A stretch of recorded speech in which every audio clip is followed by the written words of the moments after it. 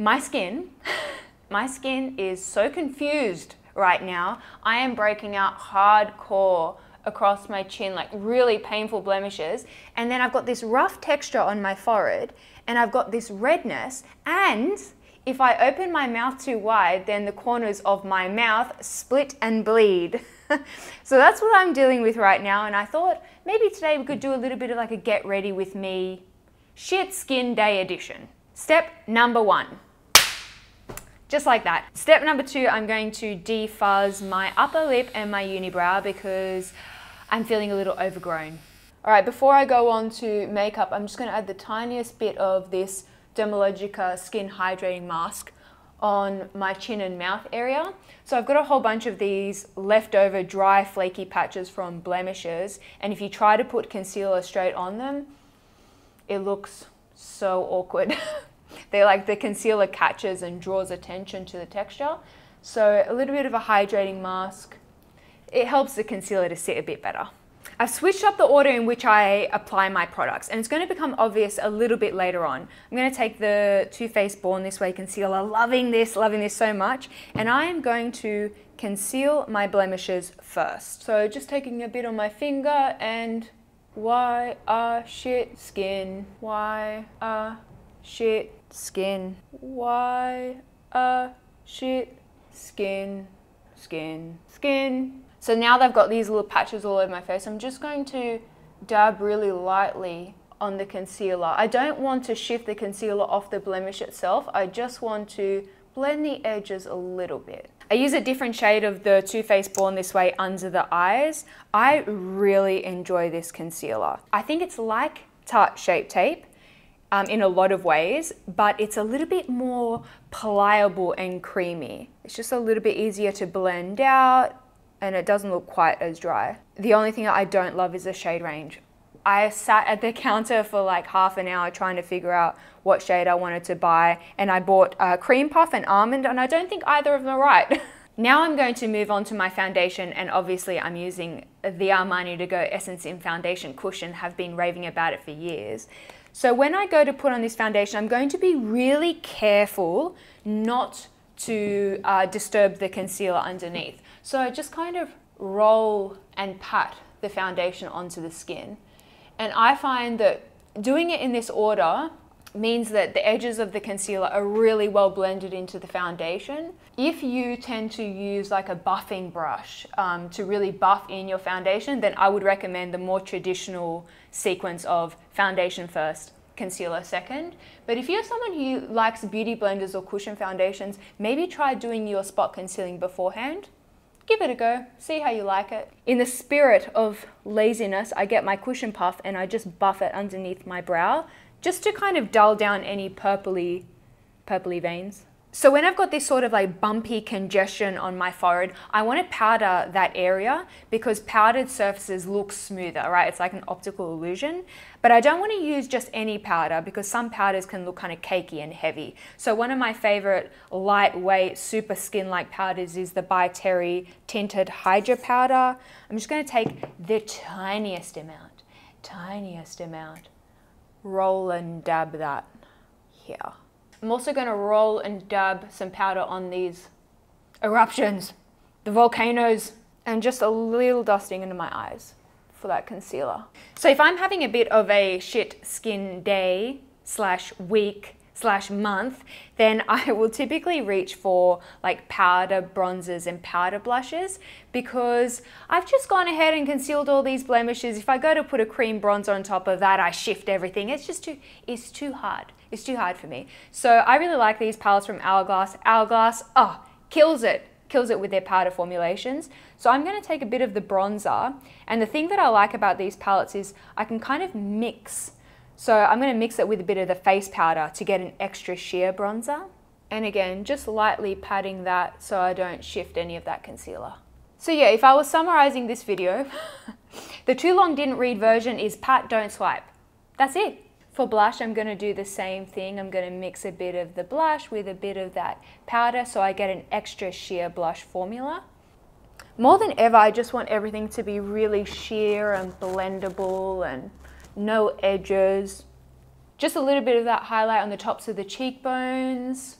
I would avoid putting this highlight for me like anywhere on the forehead or where I've got some texture, textural issues going on because it sparkly and shiny things, they just draw attention to, to any lumps and bumps on the skin. Now, more than ever, I think, is a great time to shop your stash. You guys know I'm a big believer in shop your stash. May I suggest Woodwinked?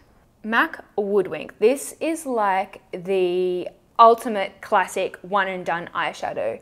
You pop it all over the lid and buff it into the crease and it, it's one of those mystical unicorns that looks like you're wearing three or four different colors, but it's just the one.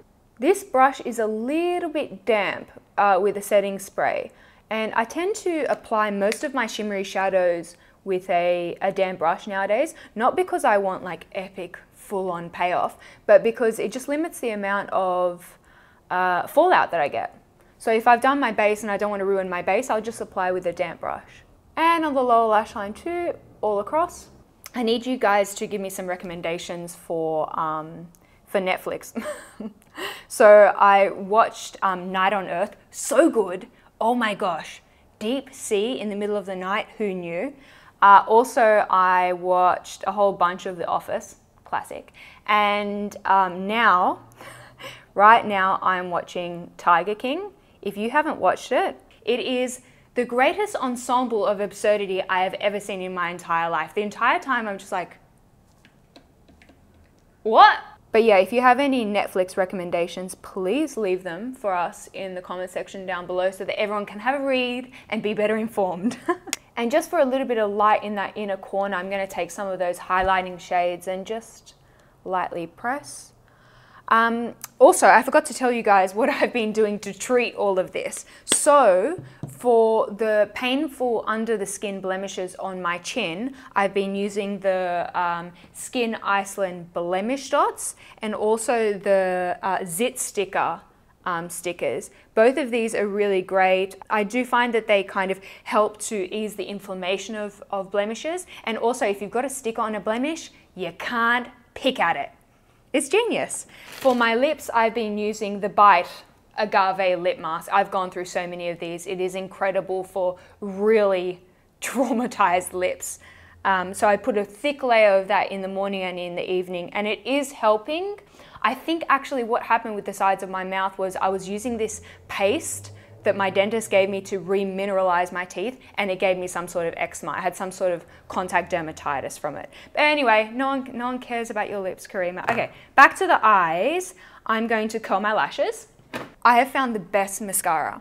I've been obsessing of this product for weeks and the best part of this is it's from the drugstore. This is the L'Oreal Telescopic Extra Black. I know, you're saying, dude, we know it's awesome. This has been a cult product for years. I had never tried it. I'd always, it was always kind of in the back of my brain, like, oh, I've got to try that L'Oreal mascara that everyone talks about. And I picked it up. So it's like super uh, lengthening and separating. Typically, I go for volumizing mascaras but now I've realized maybe I don't like volumizing mascaras. Maybe I prefer separating formulas. So before, after, before, after. And I'm happy to report that this mascara lasted through a very sweaty booty workout that I did on my bedroom floor the other day. So yeah, mate, telescopic winner. Go buy that. For brows, I'm still very much on the um, Hourglass volumizing brow gel. So I just like brush all my hairs directly up and sometimes I even go back and forth and tease them a little bit to get that really fluffy texture. And then for lips, TBH, it's been kind of tricky with this lip eczema that I've got going on, but I wanted to show you guys another winner that I found at the drugstore. This is the Maybelline Color Sensational Shaping Lip Liner. This reminds me in formula to so many of my high-end nude lip pencils in that it's really creamy upon application, but then it sets somewhat, but it doesn't set so bulletproof that it starts to like flake off or do any weird textural things. It's just a really awesome formula, and this color is like the perfect blush nude. And then another lip product that I've fallen head over heels in love with, the Revlon Kiss Glow Lip Oil. I can use this even when my lips are at their worst because it's just a really uh, nourishing, sheer, balmy lip oil that makes the lips look really nice and glossy. So there you go, that's actually a very typical face for me. You could wear this look to a multitude of places. For example, uh, you could wear it while social distancing, you could wear it while social isolating on the couch, you could wear it while walking around the block if that is permitted in your country, and that's about it. Those are your options. Uh, in all seriousness, I, I, hope that you guys are all staying safe in this very confusing period. Uh, if you would like to see a little bit more of my face, then come say hello to me on Instagram at Karima McKimmie. Also, tell me in the comment section down below what you'd like to see from me next, now that I have a little bit of extra time to film. I hope you're having a wonderful day, and I shall speak to you all very soon. Bye! Bye-bye!